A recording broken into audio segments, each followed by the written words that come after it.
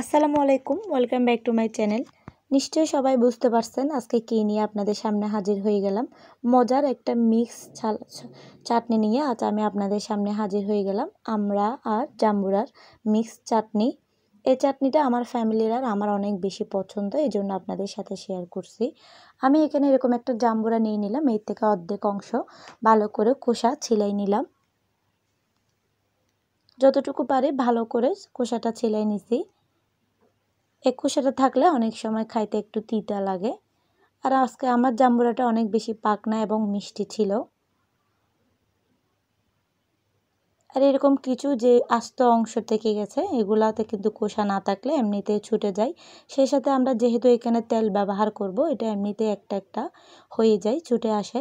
আর এখানে আমি একটা আমরা ভালো করে ছিলে, এভাবে কুচি কুচি করে যতটুকু পারে চিকনা করে কেটে নিছি। সেই সাথে দিয়ে দিলাম। জাম্বুরের বাটিতে। এরপর আমার এখানে লাগছে, আমি অল্প নিয়ে নিলাম ধনে পাতা কুচি।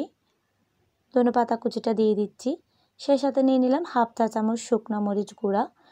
আমি, যেহেতু আমি এখানে দুই রকম মরিচ ব্যবহার করছি, এই জন্য শুকনো মরিচের পরিমাণটা কম দিছি। এরপরও যারা বেশি পছন্দ করেন জালটা, তারা বাড়ায় আর কমায় নিতে পারবেন। নিয়ে নিলাম ছোট একটা পেঁয়াজ কুচি আর একটা কাঁচামরিচ কুচি। সেই সাথে আমি বাটিতে এগুলো দিয়ে দিচ্ছি। এরপর আমি এখানে দিয়ে দিলাম এক টেবিল চামচের মতো সরষের তেল। এক্ষেত্রে আপনারা কাসুন দিয়ে ব্যবহার করতে পারেন।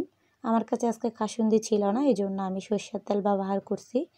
আর আমি এখানে আজকে দুই রকমের লবণ ব্যবহার করছি, একটা বিট লবণ, একটা নর্মাল সাদা লবণ যেটা আমরা খাই।